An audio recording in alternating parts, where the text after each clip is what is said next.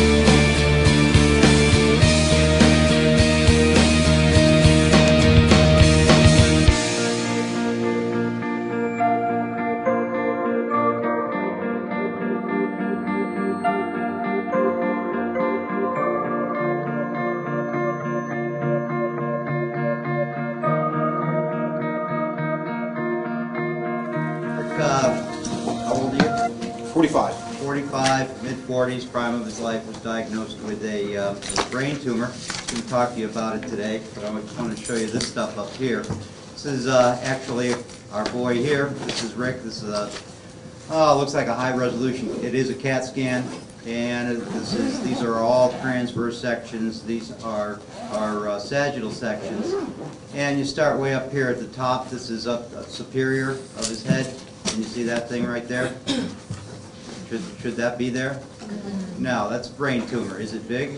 Yeah. Yeah, it's huge. And what you do with these things, when you look at these transverse sections, a lot of you will see a lot of this. This is supposed to be straight, if I can make a straight line here. But what he's done is, because of the brain tumor, brain tumor has pushed his, his midline structure, which is a structure we'll talk about, the longitudinal fissure, oh, I don't know what, probably four or five centimeters to one, to one side. And that- puts pressure, intracranial pressure on the brain. And this is a lower section of it here. And these are lateral sections here, as you can see, right up here. Here's the tumor. And the tumor is growing, in, the- the um, intracranial pressure is rising, I don't know what it was. Um, Intracranial pressure should be about 15 to 20 millimeters of mercury. He's probably up, up around 30 or 40 right now, which is not good. I don't know why he didn't uh, damage more tissue. And it's, it, uh, in order to relieve the pressure, had these, uh, these, well, how, how, how high were these? Uh, four and a half centimeters. four and a half centimeter bumps on his skull. You can see it there, pretty good. And so he went to the, the, uh, um, went to the hospital, had it removed, went through how many weeks of, of therapy? Four months. Four months of therapy, but that's his story. Take it away, Rick. Morning.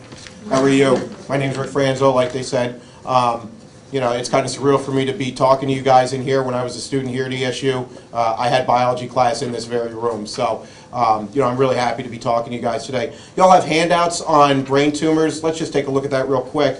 Um, these are facts. First off, how many people know somebody with a brain tumor? How many? Raise your hands high. One, two, three, four, five, six, seven, eight, nine.